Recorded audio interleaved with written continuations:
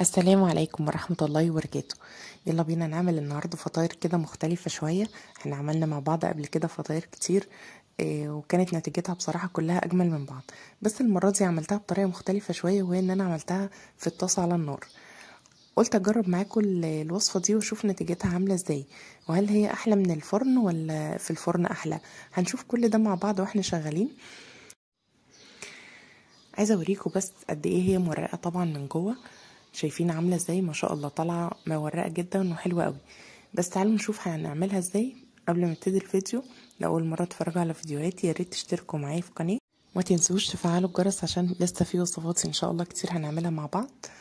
ويلا بينا بقى ما تنسوش طبعا اللايك. ويلا بينا بقى نقول بسم الله الرحمن الرحيم. الصلاة والسلام على سيدنا محمد وعلى آله وصحبه أجمعين. أسهل حاجة في الفطير هو العجينة. هي العجينة مش محتاجة أي افتكاسات خالص هو كل اللي بنحطه دقيق وملح ومية.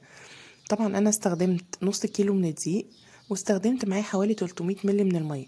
طبعا كمية المية مش بتتحدد ودايما أقول لكم الموضوع ده لأن أنواع الدقيق بتختلف. فأنت هتبتدي هتبتدي بقى تنزلي المية بالتدريج لحد اللي هوريه لكم دلوقتي.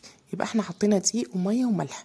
بس كده عجننا بقى كويس جدا وفي آخر مرحلة في العجين حطيت معلقة معلقة بس من الزيت عشان هي دي اللي بتخلي العجينة معاكي آه تبقى ملمسها ناعم قوي كده. أبتدي أعجن كويس قوي ما يقلش عن ربع ساعة. يعني ويمكن أكتر كمان لحد ما شايفين قوام العجينة عامل إزاي. كده بقت العجينة جاهزة معايا. هريحها بقى شوية سيبها ترتاح كده شوية وبعد كده عشان أقدر أفردها بس بسهولة. وبعد ما سبتها ترتاح مش لازم نسيبها في المرحلة دي كتير لأننا لسه هنسيبها ترتاح مرتين كمان. هبتدي بقى أفردها كده بالطريقة دي. وابتدي أجيب زبدة تكون طرية.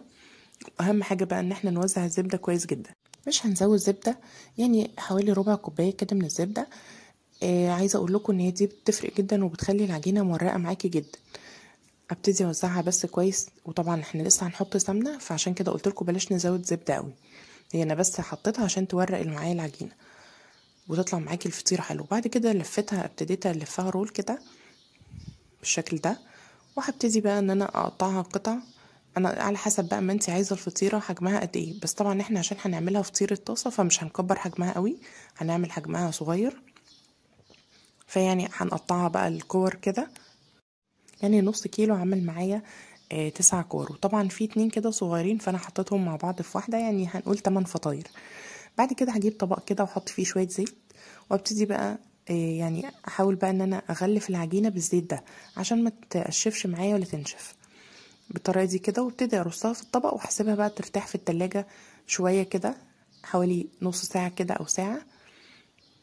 بعد ما سبتها بقى في التلاجة أخدت وقتها. كل طبعا ما هتسيبيها وقت أطول هتبقى معاكي حلوة جدا وهتتفرد معاكي بمنتهى السهولة ومش هتتقطع معاكي. بعد ما سبتها بقى في التلاجة آخد بقى قطع كده أهم حاجة إن إحنا طبعا نحط زيت كويس جدا لأن الزيت ده هو اللي هيساعدك إن انت تفردي العجينة بمنتهى السهولة. شايفين مش هتحتاج معاكي أي مجهود خالص. نبتدي نحط بقى الزيت كده ونفرد العجينة. شايفين؟ يعني أنا مش ببطط أنا بس بمجرد ما بعمل بإيدي كده بتتفرد معايا بسهولة جدا. لأن طبعا قوام العجينة حلو هو اللي ساعدني إن العجينة تطلع معايا بالطريقة دي. وفي نفس الوقت إن أنا سبت العجينة ترتاح. يعني دول حاجتين مهمين جدا في عمل الفطير. إن انت ما تخليهاش عجينة لابسة ولا هي ولا هي ناشفة ولا هي طرية قوي يبقى قوامها مناسب. بعد كده بعد ما العجينة اتفردت معايا نحاول نهويها بس شوية كده. زي ما بيقولوا كده أهوت شايفين بالطريقة دي شايفين بقى ابتدت الرخامة تبان معايا من العجينة. وحتى لو اتقطعت مفيش أي مشكلة إحنا كده كده هنبتدي نطبقها تاني على بعض فمش لو اتقطع معاكي حتة مفيش أي مشكلة. بعد كده بحب أجيب أنا بقى سمنة أو ممكن تحطي زيت لو ما عندكيش سمنة ممكن تستخدمي زيت. أنا كده كده حاطة زبدة في في النص فمش مشكلة لو مفيش سمنة ممكن تستخدمي زيت. وبيطلع نتيجتها حلوة جدا برضو. بس السمنة طبعا بتبقى حلوة قوي أبتدي بقى أطبقها على الجنب ده كده بالطريقة دي. وكل بين كل تانية وتانية كده نبتدي نحط معلقة بس من السمنة عشان تورق معاكي. ونفردها كده بإيدينا. شايفين؟ بالطريقة دي كده. ابتديت بقى أطبقها كده. هنطبقها بقى بالجناب كمان عشان أنا عايزاها ترجع كورة تاني. أعملها كورة كده بالشكل ده. وهرجع بقى أسيبها في الطبق تاني أحطها في طبق. وهسيبها برضو ترتاح شوية كمان في التلاجة. أو بره التلاجة مفيش مشكلة بس هنسيبها ترتاح عشان لما نيجي نفردها تتفرد معانا بسهولة تاني. لحد ما أعمل بقية الكمية كلها. عملت بقى الكمية اللي عندي كلها بنفس الطريقة دي. بعد ما سبتها ترتاح هرجع أجيبها تاني. هحط شوية زيت برضو. أنا حاطة بقى طاسة على النار مسخناها. طبعا أهم حاجة النار تكون متوسطة جدا. وأبتدي بقى أفردها. مش هفردها كتير لأن هي طبعا حجمها صغير أصلا فأنا هعملها صغيرة. هبتدي بس أفردها كده. يعني نحاول بقى نسويها ونفردها بالطريقة دي لحد ما نعملها بشكل بيضاوي كده. وبعد كده بعد ما اتفردت معايا زي ما قلت لكم مش هنفردها مش هنخليها رقيقة قوي. الطاسه بقى على النار سخنت أنا مهدية النار مش معلي مش معلياها خالص. وبعدين حطيت معلقة من السمنة. يعني مش هنحط سمنة كتير برضو. وبعد كده نبتدي ناخدها بقى في الطاسة بتاعتي. ونفردها بالشكل ده. زي ما قلت لكم أنا مهدية النار عشان تبتدي تستوي معايا وما تاخدش ما تتحرقش من الجناب وتاخد معايا اللون الذهبي اللي أنتوا شفتوه في أول الفيديو فأهم حاجة درجة الحرارة تكون هادية. ونبتدي بقى أهم حاجة برضو في نبتدي أول ما نحس إن هي الجنب الأولاني ابتدى يعني ياخد لون كده مش ياخد لون إن هو يدخل في التسوية نبتدي نقلبها. هنقعد نقلبها على الجنبين بقى باستمرار. يعني نقلب شمال ويمين كده باستمرار. ليه؟ لأن ده هيساعد الفطيرة إن هي تقب وفي نفس الوقت هتستوي من الجنبين.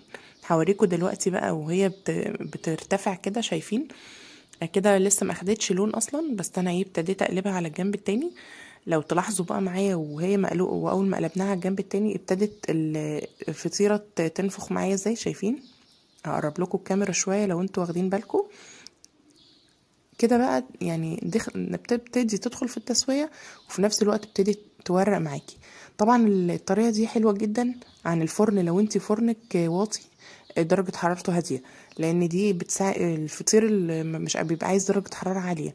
فانت بقى لو انت الفرن بتاعك درجة حرارته واطية يبقى استخدمي الطاسة دي حلوة قوي وهتديكي نتيجة فطير حلوة جدا.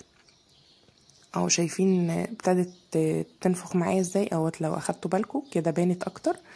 شايفين ما شاء الله طالعة جميلة جدا ومورقة وطبعا مستوية قوي لأن أنا هديت النار من الجنبين لحد ما أخدت اللون المظبوط. كده بقى الفطير عندي بقى جاهز ما أخدش معايا وقت خالص في طاسة على النار كده وعملته بمنتهى السهولة. بس هو بيختلف عن الفطير اللي, بعمله في الفرن بصراحة في حاجة لأن أنا بزود في الفطير اللي بعمله في الفرن قشطة.